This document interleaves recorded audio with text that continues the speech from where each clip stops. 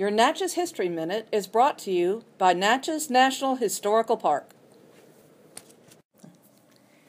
On this day, January 10, 1864, Private H. H. Bennett of the 12th Wisconsin noted in his diary that two ladies were in attendance at the General Review of Union troops at Fort McPherson, the federal fortification then under construction in Natchez.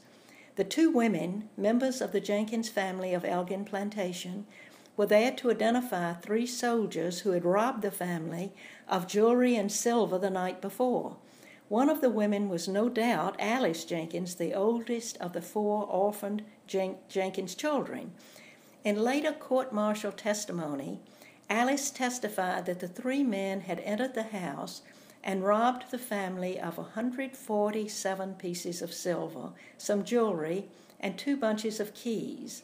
The three soldiers, members of Company G of the 12th Wisconsin, were convicted and sentenced to prison. The ringleader, Captain John Feltis, was sentenced to 10 years in prison and ordered to wear a ball and chain on his leg for two months out of the year. Private Parks and Saltis were sentenced to 20 years hard labor in a prison in Alton, Illinois. The sentences of all men were commuted in 1866, and the men were freed from prison.